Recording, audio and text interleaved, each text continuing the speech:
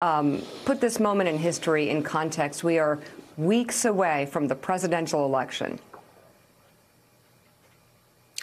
It's, you know, there is a very checkered history of American presidents, even in the best of times, sharing accurate medical information with the public. Uh, it's just it, it's far more the exception to have that happen than than the rule. But this is a pandemic. Uh, about Woodrow Wilson.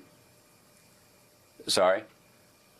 This is a pandemic. This is a a highly uh, contagious virus. So it's one thing if presidents are like, you know, uh, trying to make sure they seem strong and maybe, you know, uh, give or take a few pounds on their weight. This is a highly contagious, deadly pandemic. Well, it, it is. But, but, Jon, as you say, even under the best of circumstances, uh, uh, presidents, and of course, yeah. the, the most dramatic example you were about to point out, Woodrow Wilson, for uh, the last year of his presidency, even kept his own vice president in the dark about the fact that he was in terrible shape. Oh. Yeah. He was he was debilitated. He'd had a stroke. They lied about it. Uh, it's no, it's it's it's terrible. And and Mika, I look, I, I'm with you. I just there's no evidence over the last five years of public life and and three years of the presidency that anybody close to the president is remotely with you. And so, what I was going to say is, in the best of times, presidents don't tend not to level with us, and it's a bipartisan point. They just they, they don't like admitting weakness, et cetera, et cetera.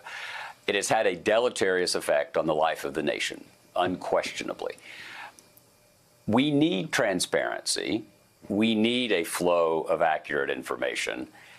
But is there anything in your experience, in our national experience over the last several years with this administration that suggests that's what we're about to get? And the answer to that rhetorical question is no. That does not mean any of us wish the president and the first lady ill. It does not mean that we are being reflexively partisan. It does not mean that we are trying to weaponize a terrible diagnosis. But it does mean that the essence of democratic lowercase d survival has to be an engagement with facts and truth. We cannot continue as a nation to engage in wishful thinking and reflexive tribalism. And this is unfolding in a 30 day window where we're facing one of the starkest choices we've faced since the Civil War, if not the starkest since the Civil War. And so I think that we're going to spend the next days, uh, hopefully, getting, seeking uh, the information we need for the country to make an, an, informed decision. But I think all of us, I think members of Congress, I think voters, I hope the, the people who are close to the president will see that there is a virtue in being straightforward about this.